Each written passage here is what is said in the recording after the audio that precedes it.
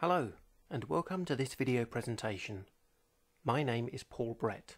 I'm a Senior Software Support Analyst supporting the Transformation Extender product from IBM.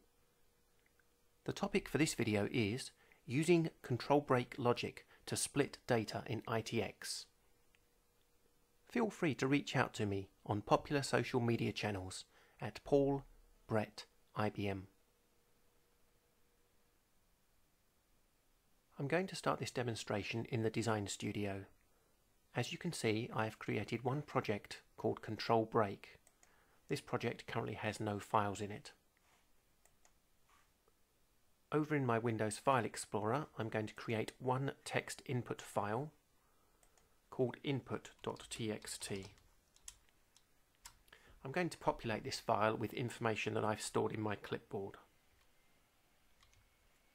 This information is just a bunch of records which indicates people and the group to which they belong. Each line has the group, followed by a comma, followed by their first name. Now that that file has been saved, back in my control break project, I refresh. It then appears in the miscellaneous section, and I'm going to open it. This is just going to stay on screen as a reminder of what the input is. Let's move on to creating a type tree to read those records right click type tree, choose new type tree, and I'm going to call my type tree input.mtt.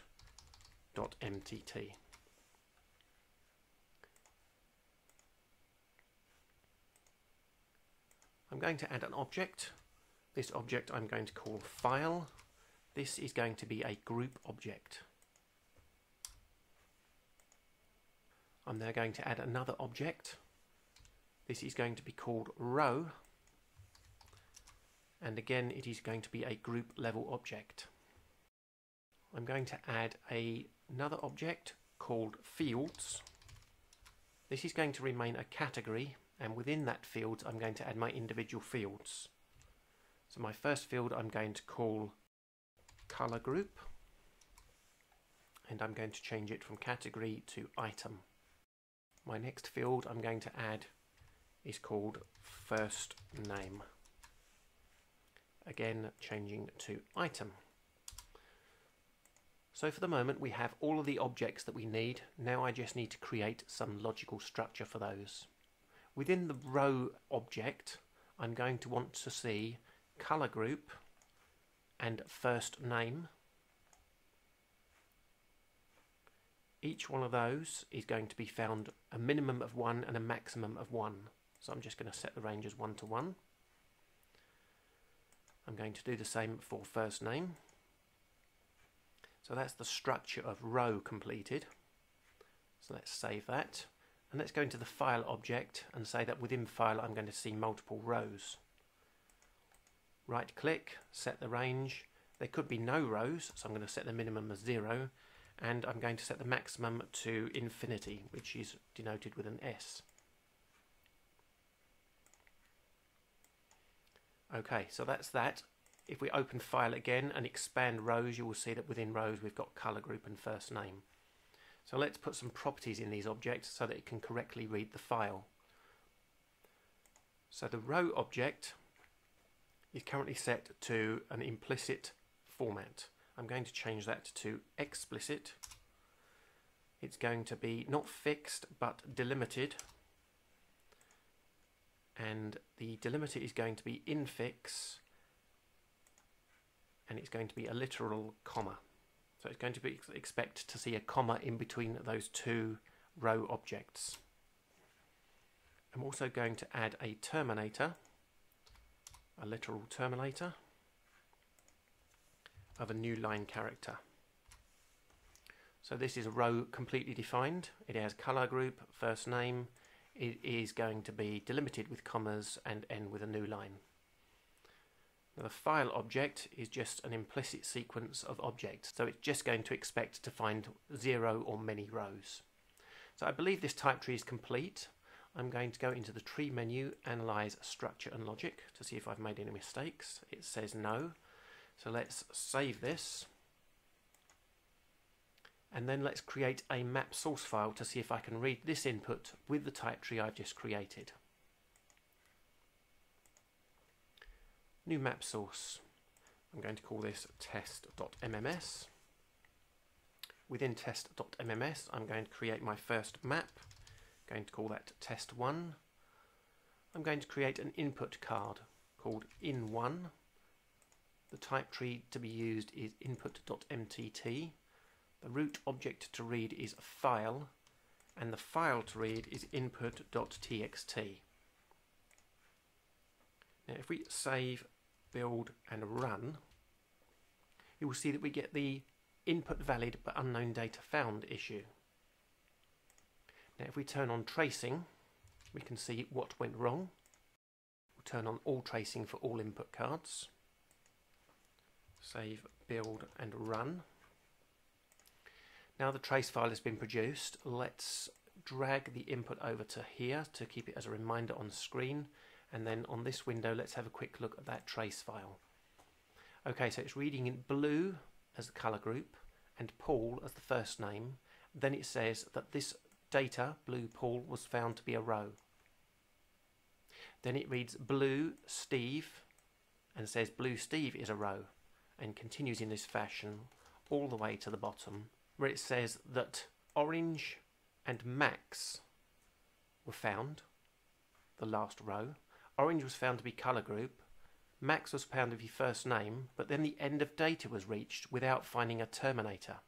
So this is my mistake. On the input side, I don't have the final terminator on this file. So let's go into that file, add the final terminator, save the file, close the trace, run the map again, and now the map completes successfully. Okay, so we are reading our input rows successfully. However, this entire demonstration is about control break logic. So, how do we get into that? Well, before we move forward, I'm going to create a generic utility type tree and I'm going to use it to count objects. Right click, new type tree. I'm going to call it util, stick it in the control break project and I'm just going to add one object and I'm going to call it number item. I'm going to make this an item object and instead of the default text I'm going to change it to a number. Okay, so we have a generic utility type tree to use here for the moment. I'm going to analyze structure and logic and I'm going to save the file and close that type tree. I'm going to create a temporary output card here, which is going to count my input objects for me. I'm going to use the util type tree that I created just now, the number object, and I'm going to create a file called count rows.txt. So what do we put here? We use the count function. What are we counting? We're counting rows. Drag and drop the row object there, save, build, run. Over in the miscellaneous section we have account rows.txt has just appeared. Let's open that file. I'm going to drag input down here just to be out of the way. We're going to concentrate on this output for the moment. Count rows. We're seeing 12 rows. Okay, let's move forward to the control break logic side of things we need to amend the input type tree slightly to add another level and within that level the actual control break logic goes to ensure that this splits into different objects depending on which color group it belongs to. Let's open the type tree now. Create another level of object. I'm going to call this color grouping. Now color grouping I'm going to make into a group object. It's going to be sequence implicit still, but I want to insert this between file and row. So at the moment, file contains multiple rows. So let's instead make it contain multiple color groupings. Set range 0 to S and make color grouping contain multiple rows. Set range 0 to S. So I've inserted this group that's an implicit group between those two objects that already existed. If we open File now, we will see colour groupings, then within that rows, then within that the individual fields. Okay, we need to give colour groupings a little bit more structure. So within colour groupings, let's say that you become a new colour grouping whenever this rule is not true. I'm going to put a component rule here. I'm going to paste it from my clipboard. What we're saying is that from the current row, which is dollar, look at the colour group field and see if it's equal to the colour group field from the last row. And if it is, then it's part of the same group. Otherwise, it's not. The component rule is not valid. We break out of this object and then we go back to the file level object where it goes to the next control break group. Okay, let's close and save that. We'll analyze structure and logic again and save the type tree. Back in our map, we can now either count rows or we can count color groups. So let's count rows again, just to check that we're still reading the same number of rows. Save, build, run. The map has completed successfully and we're still reading 12 rows. Let's just overwrite that with some zeros, save that and just run that one more time, just show you that changes to 12 again. We are reading 12 rows. Okay, but how many colour groupings are there? Let's go in our count function and drag in the group instead, colour grouping in one. Save, build and run. We can see now that it is actually successfully let read three different colour groups, blue, green and orange. Okay, so let's try separating out those colour groupings using another output card to write that data to three different files.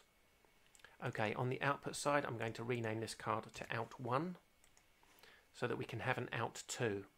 But before I go into out2, I need to create a type tree. Let's create that type tree now. New type tree.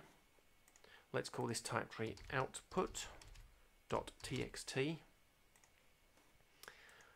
Okay, I'm going to add a file level object.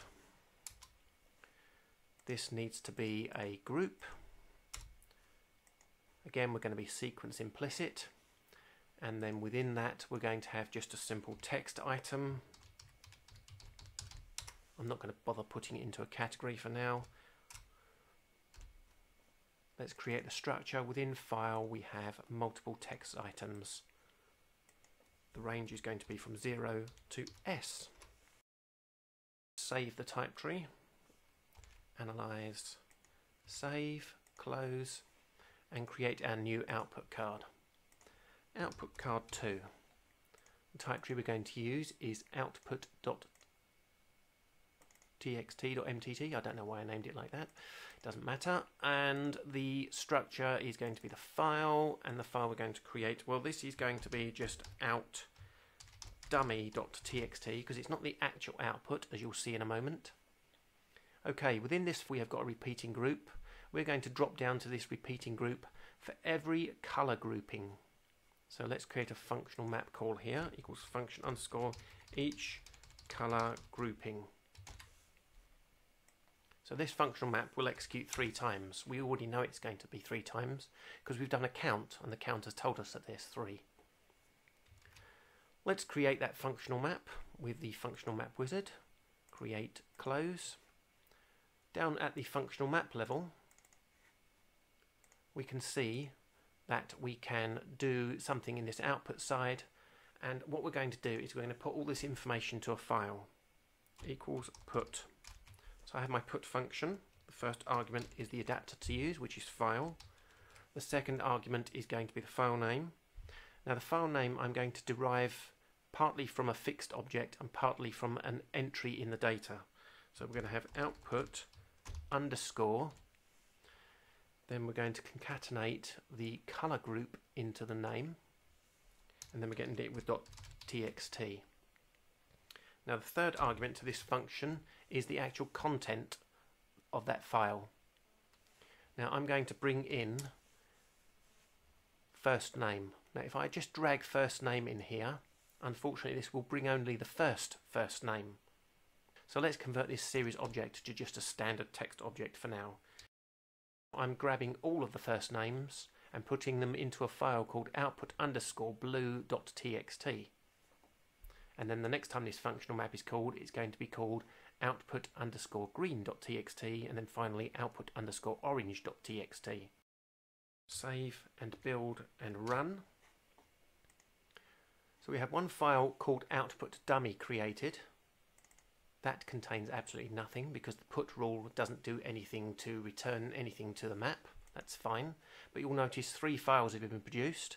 Output blue, output green and output orange. Let's have a look at output blue. We have John. Okay, so something's gone wrong. Series to text uh, did not work. So let's change the rule to instead just package everything that's in one at this point. And let's save, build and run again. And there we go, on the output we've got the information that I wanted. In output blue we see the entire blue group has been listed. In output green we see the entire green group has been listed. And finally in output orange the entire orange group has been listed. So there we go, our control break logic is successfully splitting the input data based on the information in the rows itself. Now, what happens when this information is not sorted? Let's say we have blue Jane right in the middle of the greens. Well, that's when we start to see some weird save, build and run. Save the input, save, build and run the map again. Now we see that the count is 5. Now there are not 5 groups, but it changed five times. There was a blue group, then there was a green group, then there was a blue group, then a green group, and finally an orange group. What does that do to the individual files? Well, the second time that blue was run, blue Jane, it would have overwritten the information in the first time it was found. So this will only contain one row, blue Jane. In green, we will find only two rows, sorry, three rows because the first two have been overwritten the second time that green has been found. There we go, only three rows. And the final file, orange, contains the correct data because they're obviously all in sequence one after the other. So it is important when using control break logic that the data is sorted so that they're all at least grouped together and you can do that with a simple sort function before reading the data at this point if necessary. There we go using transformation extender input type tree properties for control break logic to split data. I want to thank you for taking the time to watch my video presentation today. If you found the content interesting and informative, please hit that like button, perhaps leave a comment. Consider subscribing to my YouTube channel as I release content such as this on a regular basis feel free to reach out to me on popular social media channels at Paul Brett IBM. Thank you.